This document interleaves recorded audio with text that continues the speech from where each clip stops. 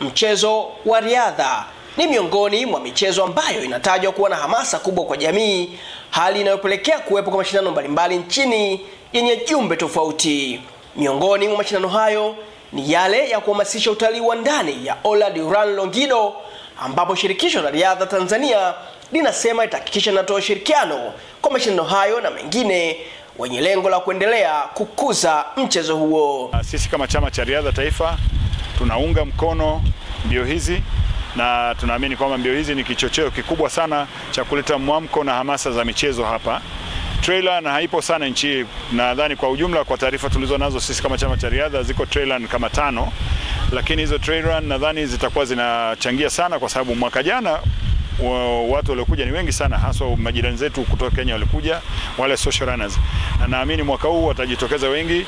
Bayo anasema licha ya aina hiyo ya mbio kuwa sehemu ya mazoezi, pia ni sehemu ya mchango wa kuhamasisha utalii wa ndani sambamba na kuinua maendeleo ya mchezo huo.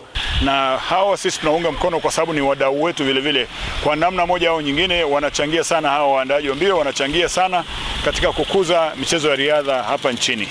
Mratibu wa mbio hizo anaweka wazi sababu za kufanyika wilayani Longido. Tumeamua kwenda Longido kwa sababu kule tumeona kuna mazingira ambayo yanaendana na trail run, na tunavyojua kama mashindano ya trail run yanakimbiliwa yana katika sehemu za asili ambapo unaweza ukakuta mabonde ukakuta sehemu ambayo kuna makorongo, msitu, na kule tumeona ni sehemu sahihi ya kuweza kufanya mbio zetu hizi, na kama tunavyojua hii ni mara ni msimu wa tatu tunaenda kufanya mbio katika eneo lile, na watu walifurahia, ndio maana sisi imetusukuma na kuweza kuendelea kufanya mbio katika eneo hilo.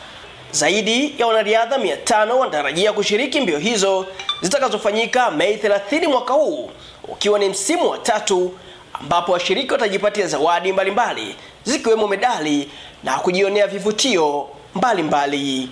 Diu Kimwasi Mwiko, Star TV, Arusha.